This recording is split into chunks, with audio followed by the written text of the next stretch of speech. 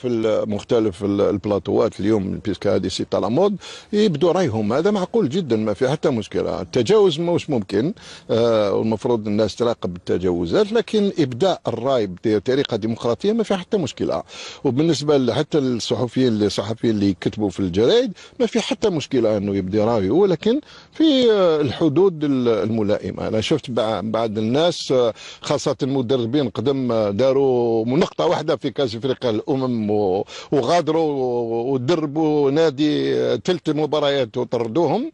ومن ذاك الوقت ولا اشتغلوا ولا عندهم الكفاءة باش يتكلموا على هذا هذا الفريق في المستوى اللي هو فيه. يقولوا حاجات غريبة.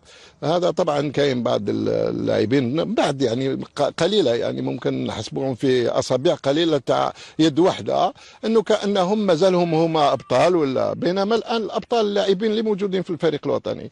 اليوم الأبطال ما بقاوش اللي كانوا في في الثمانينات. اليوم الأبطال اللي راهم في 2016 وهذا هو الفريق الوطني. وبالنسبه للآخرين لازم يكون تواضع في ال في ال في الفحص في الأناليز. لازم يكون تكون الأناليز إيجابية لكي نستفادوا منها. إلا باش تجي تقول غير الأمور ماشي مليحة هذا ما يهمه. على كل حال ما يهمناش. حنا نعرف كاين مدربين ما عندهمش حتى الدبلوم ويتكلموا في البلاطوات.